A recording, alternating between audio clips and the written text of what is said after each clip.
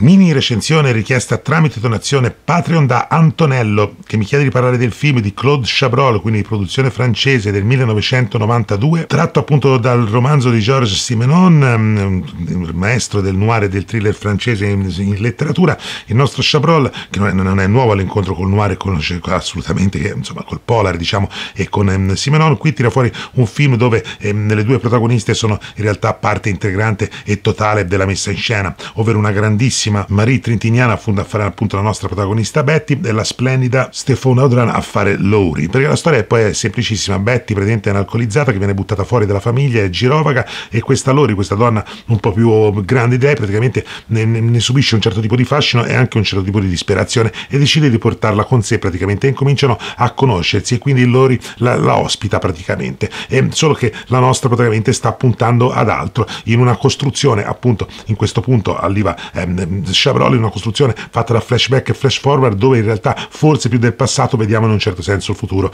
È un film molto particolare in questo senso qui, con una fotografia magnetica e magnifica, veramente fatta di stralusso, un montaggio ottimo e le due attrici fanno a gara veramente. È un film anche abbastanza pruriginoso in un certo senso, dove ci sono anche delle bellissime nudità, dove l'erotismo però viene a, a solo a tratti semplicemente accennato o simil visto, per un film in realtà che lavora molto sul dramma lavora proprio su questo personaggio eh, di Betty, che non vorrei dirvi troppo, ma che in realtà nel suo sadismo è anche masochista, nel distruggere gli altri sembra distruggere se stessa attraverso praticamente un'evocazione di un, di un certo tipo di modo di, e stile di, di comportarsi che è completamente fuori da ogni logica. Così come ogni tanto risulta pesante, c'è poco da dire, non è uno dei migliori film di Chabrol, questo modo di riportare tutto indietro a flashback che ferma un po' la narrazione e che diventa a un certo punto anche confuso perché i piani vengono sempre innestati in maniera diversa e non si riesce bene a capire dove si va. In tutto questo però Certo, c'è sempre l'arte del grande Chabrol e quindi il film non essendo uno dei suoi migliori, ma rimane sempre comunque un film interessante, un film da vedere, un film su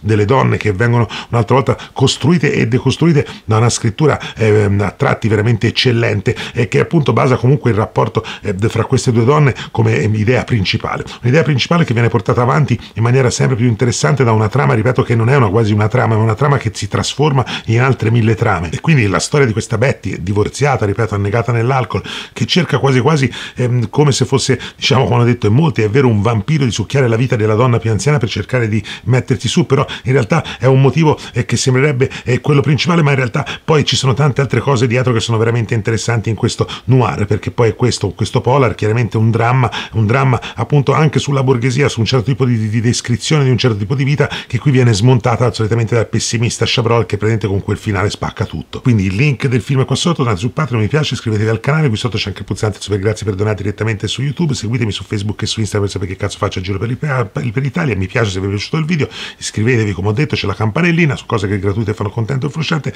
e poi ripeto, è un film che probabilmente non è la maggiore opera di Chabrol, che comunque è un genio, ha fatto dei film uno più bello dell'altro da ormai 60 anni e che qui comunque riusciva a tenere due attrici alla stragrande a costruire diciamo appunto questo eh, momento di distruzione, autodistruzione e compiacimento della stessa attraverso appunto due personaggi incredibili che riescono a darsi battaglia sia per recitazione che per scrittura. Peccato, ripeto, che comunque il film sia a tratti troppo complesso e non riesca a sciogliersi completamente, se no saremmo stati di fronte veramente a un altro livello. Così, se solo si può dire, è un bel film del buon Chabrol, non uno dei suoi film migliori, ma resta comunque intrigante, nonostante a volte il suo appunto voler andare avanti e indietro riesca eh, a volte semplicemente a confondere più che, eh, diciamo così, a intrigare. Comunque la tensione c'è, la paura c'è in un certo senso ed è quasi un horror, un horror dell'anima di sicuro, l'anima di una donna tormentata fino a doversi fare del male a tal punto. Film assolutamente da non perdere comunque come tutto Chabrol secondo il sottoscritto.